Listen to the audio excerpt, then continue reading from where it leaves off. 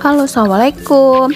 Jadi ini aku order ke Resis Corner. Tahu kan Kak Resi ya? Kak Resi Nyoy.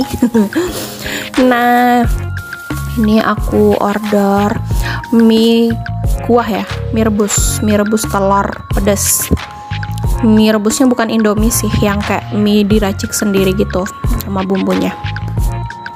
Jadi sepertinya itu banyak banget gila ini kira-kira tiga porsi aku makan sih kalau makan mie. Penuh banget itu tempat styrofoamnya. Ini aku sisain buat nantiknya. Nah ini kemasannya uh, bagus lah. Nggak disatuin sama mie jadi mie nggak ngembang gitu. Walaupun nggak langsung kita makan jadi aman. Nah ini aku tuangin kuah mie rebusnya mie, mie kuahnya.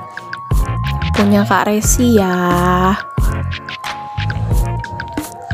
aku ngeluarin telurnya dapat telur Nah, jadi porsi aku sebenarnya makannya sedikit doang sih, segitu doang. Tapi ini banyak banget sih, bisa beberapa kali makan. jadi aku request tadi pedas. Bismillahirrahmanirrahim. Jadi ternyata mie rebusnya enak, kayak mie rebus mama kita tuh loh bikinin mak bikinan mak-mak kita kalau di ru di rumah pakai mie telur gitu. Kuahnya diracik sendiri gitu. Jadi rasanya tuh enak pedes uh, rempahnya berasa. Mie nya nggak pelit sih banyak banget.